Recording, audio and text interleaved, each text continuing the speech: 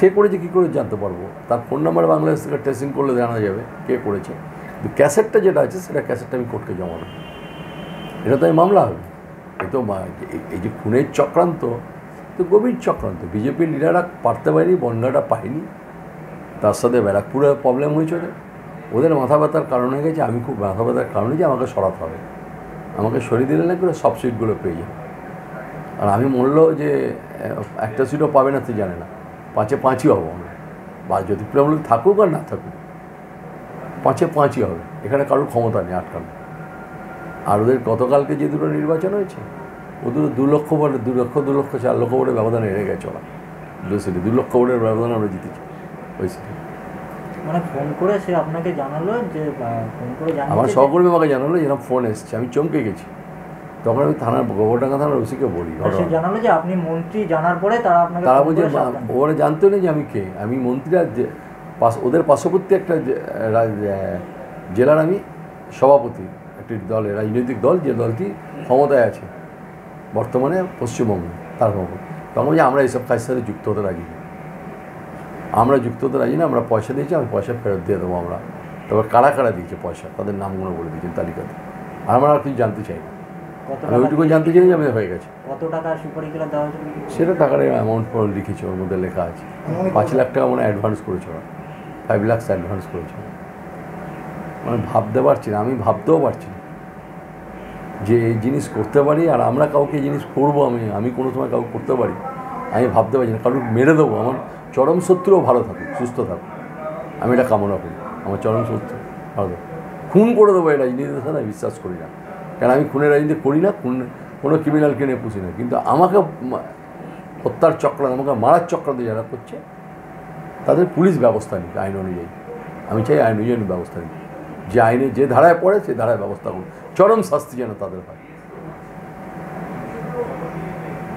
গতকাল গোবরডাঙ্গা থানায় একটা এফআইআর হয়েছে আপনার নামে, যেখানে বলা হয়েছে, আপনি দেবদাস মণ্ডল, আপনার বাবা মঞ্জুল ঠাকুর এবং কৈলাস বিজয়বর্গ মিলে জ্যোতিপ্রিয় মল্লিককে মারার পরিকল্পনা করছেন এবং বাংলাদেশের কোনো একজনকে সেটা সুপারিটা দিয়েছেন। কি বলবেন? আসলে দুটো অবস্থান ফ্যাক- ফ্যাক্টর কাজ করছে। সেই দুটো অবস্থান হচ্ছে, আইদার জ্যোতিপ্রিয় মল্লিক পাগল হয়ে গেছে, তা না হলে ঠাকুর পরিবারকে সুপরিকল্পিতভাবে মার্ডার করবার যে চক্রান্ত সেটা আটার জন্য অগ্রিম একটা কেস করছে আমার নামে। যেমন রাজনৈতিক ভূত দেখছেন উনি হারের রাজনৈতিক ভূত দেখছেন তার জন্য ওনার ট্রিটমেন্ট দরকার রাঁচিতে। যদি উনি স্বাভাবিক অবস্থাতে থাকেন, তাহলে উনি আমাকে মারার প্ল্যান করছেন। পরিষ্কার বলছি, মারার প্ল্যানটা করছেন এই কারণে যে উনি নিজে আমাকে একবার মারার প্ল্যান করেছেন তাতে অসফল হয়েছেন এবং দ্বিতীয়বার সেই যে মনের মধ্যে ভয়, সেই ভয়টা কাজ করছে না। যে কারণে, বিনা কারণে ঠাকুর পরিবারের উপরে এবং ভারতীয় জনতা পার্টির যারা আছে, তাদেরকে দোষারোপ করে তাদেরকে এই কাঠগড়ায় দাঁড় করাতে হয়েছে। জ্যোতিপ্রিয় মল্লিক উত্তর চব্বিশ পরগনার একটা পয়জন এবং সেই পয়জন ওকে রাজনৈতিক জবাব দিয়ে ওকে রাজনৈতিক জবাব দিয়ে মানুষ এখান থেকে হাঁটাবে সেটাও বুঝে গেছে।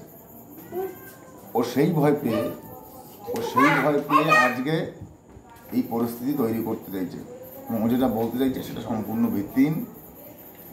কোনো কথার দাম আজ পর্যন্ত ওর নেই। মানুষকে, মানুষ হিসাবে ট্রিট করে না। সকলকে ও এজেন্ট হিসাবে ট্রিট করে আজকে সেই পরিস্থিতি সেই পরিস্থিতি ওর তৈরি হয়েছে। যে পরিস্থিতি ওর হবার কথা ছিল। জনসাধারণ ছ তারিখে রায় দিয়ে দিয়েছে।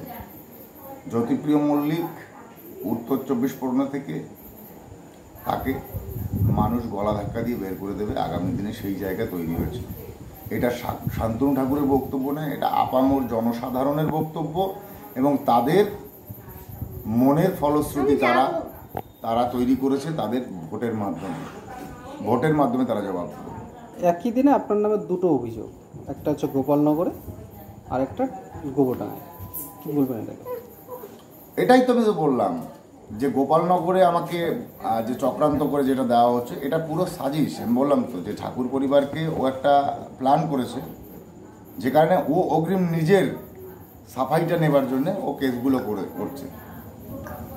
ঠিক। নিজের সাফাইটা নেবার জন্য অগ্রিম কেসগুলো করে তারপরে সেই প্ল্যানটা করবে যাতে ওর সুপর মানে ওর কল- কল্পনায়ও সাকসেস হয়